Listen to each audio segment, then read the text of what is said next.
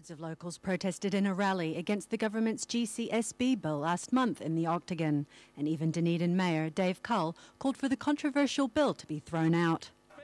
Last night the bill was passed in Parliament, 61 votes to 59. And this afternoon the Mayor stated that it's unfortunate such sweeping powers have been granted to the GCSB before a comprehensive review is done to clarify the issues and risks.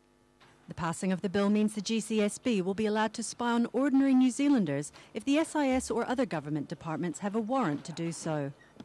And the spying will occur across telecommunication systems such as emails, text messages, faxes, and phone calls. Meanwhile, a lecturer in politics at Otago University says the passing of the bill is disappointing and a cause for concern.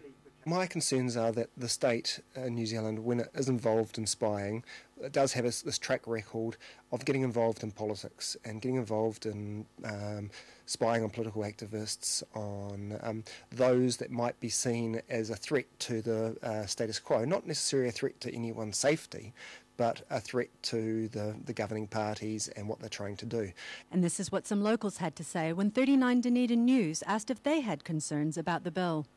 Yeah, I kind of do. I mean, it's a little like breach of privacy kind of thing, so I don't really support it so much. Part of the whole operation of democracy is based on trust.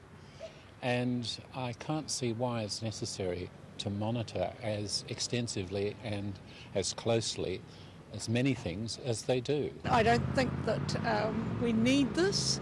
Um, New Zealanders are basically a really uh, safe society, and I don't think there is a need for it. I think they're overreacting. And whether or not the public at large will be greatly affected by the passing of the bill still remains to be seen.